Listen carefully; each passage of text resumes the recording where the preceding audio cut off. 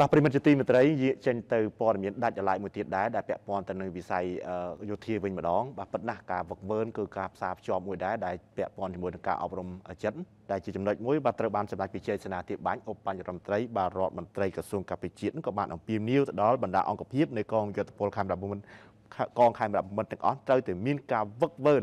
ដើរទន្ទឹមជាមួយនឹងការងារអប់រំចិត្តសាស្ត្រដើម្បីធ្វើយ៉ាងណាឲ្យយោធិនគ្រប់រូបគឺបង្កើតស្មារតីស្នេហាជាតិនិងមានឆន្ទៈមោះមុតក្នុងការការពារបូរណភាពទឹកដី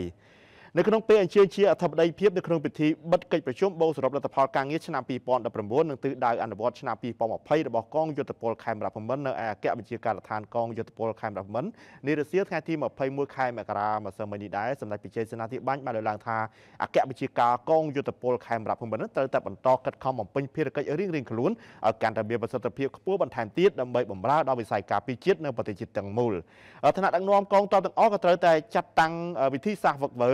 ត្រូវភ្ជាប់ទៅនឹងស្ថានភាពភូមិសាស្ត្រជាក់ស្ដែងរបស់កងឯកភាពនិងមុខជំនាញបច្ចេកទេសនីមួយៗហើយការវឹកវើនេះក៏ត្រូវតែដើរទន្ទឹមជាមួយនឹងការងារអប់រំចិត្តសាស្ត្រដើម្បីឲ្យយុទ្ធធនគ្រប់រូបមានស្មារតីស្នេហាជាតិមានឆន្ទៈមោះមុតគោរពវិន័យកងទ័ពនិងធានាគ្រប់គ្រងកម្លាំងបានគ្រប់សភាពការចាំបាច់ឈានឆ្ពោះទៅសម្រេចភារកិច្ចដែលថ្នាក់លើប្រកុលជូននោះ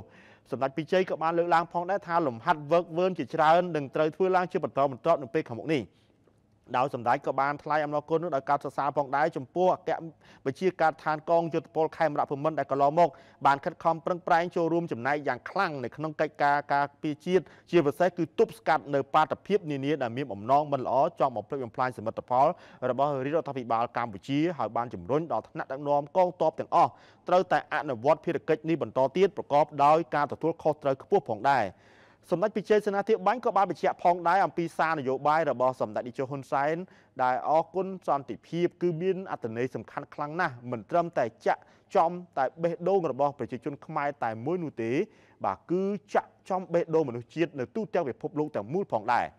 នយោបាយឈ្នះឈ្នះគឺបានបញ្ចប់សង្គ្រាមស៊ីវិលដែលបង្កើតឲ្យមានសន្តិភាពស្ថិរភាពសណ្ដាប់ធ្នាប់ទូទាំងប្រទេសដែលធ្វើឲ្យប្រទេសជាតិទាំងមូលមានការរីកចម្រើនការអភិវឌ្ឍលើគ្រប់វិស័យជាពិសេសធ្វើឲ្យប្រទេសខ្មែរបាទគឺប្រជាជនខ្មែរនឹងបានរស់នៅជួបជុំក្រុមគ្រួសារ